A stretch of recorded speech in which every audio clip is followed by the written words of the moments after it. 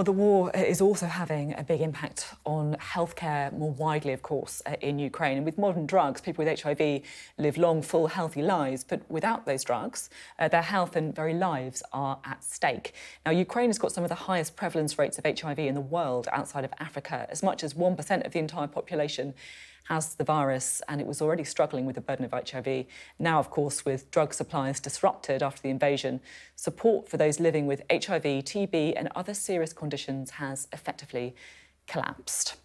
We're joined uh, now by the Alliance for Public Health Executive Director Andriy Klepikov. You were based in Kiev, you're now in Lviv in the west of the country. Thank you for being with us. It's always so critical for us to hear from people on the ground in Ukraine. And we've seen these horrific images this morning uh, of what's happened to civilians. Can you just start by giving us a sense of the situation uh, on the ground in Ukraine and, and, what people are witnessing? Good morning. Yes, uh, situation is very uh, terrible because we saw a huge tragedy in, in Bucha, in the Kiev suburb, where Russians uh, actually practice genocide, killing uh, men between the age of 18 and 60.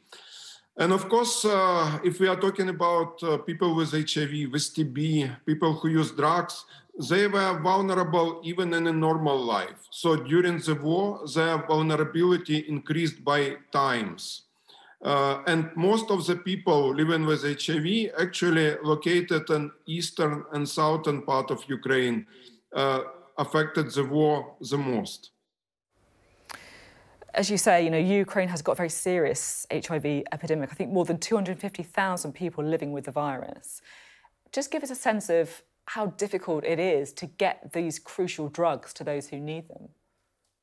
Uh, it is a very challenging task because uh, in the areas directly affected by the war, uh, uh over 100,000 people with HIV are living. Uh, 59,000 out of them are receiving antiretroviral treatment. So it's not only governmental uh, uh, agencies, medical facilities, but also NGOs like mine uh, delivering uh, ARV drugs to the patients. It is difficult uh, and it's very challenging because we are continuing to do this even in the occupied territories.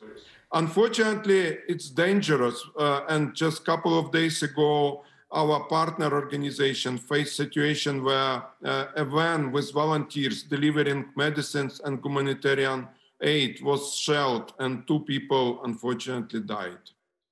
That's really awful to hear that you know, aid workers, people who are delivering essential medical supplies, coming under fire. Can you give us a bit more information about what happened with that attack, or is it impossible for you to do so?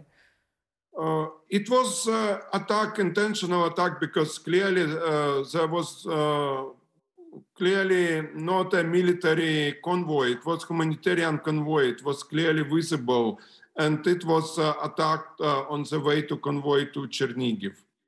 That's the situation our partner organization faced, and this is our van which was destroyed.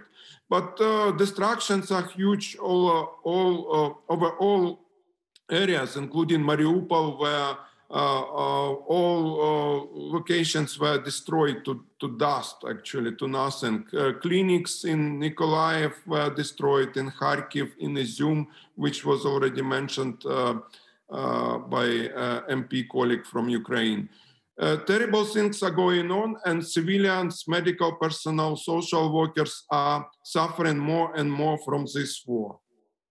Have you been able to get supplies into Mariupol? And I think there are almost 5,000 people living with HIV there. Or is the situation just too difficult and too dangerous to get those supplies in? Uh, unfortunately, Russian forces uh, uh, don't allow to go in. So we help those patients who managed to escape and now move to Dnipro or Zaporizhia or other locations. Uh, but unfortunately, access to Mariupol is so difficult. We are helping some people, even non with HIV, but for example, suffers from this uh, terrible attack on on uh, on shelter uh, located in theater. It was on the news, and uh, there were terrible stories. So we help people to evacuate from from there. HIV positive and not HIV positive. We in this situation we are helping everyone. Yeah, you're in the business of saving lives, right? So exactly. that's what you do uh, as an organisation such as yourself. What stories are you hearing from the people that you are meeting in these desperate situations? Uh, needs uh, of people uh, increased substantially. Uh, now they're uh, requiring not only medications but also uh, food, housing or shelter, some support, psychological support, mental health support. so we need more resources, and we are having this appeal hosted by organization Frontline Aid. So please call into everyone to, to support us with, uh, with uh, checking the website uh, frontlineaid.org, uh, donate. Uh, it's important to provide uh, more resources because so far our resources are limited. And we are working in all provinces of Ukraine, more than in, with 100 local organizations based on the ground. How many people are at risk of running out of the drugs that they need? And as a result, can you put any figure on the number of lives that could be at risk?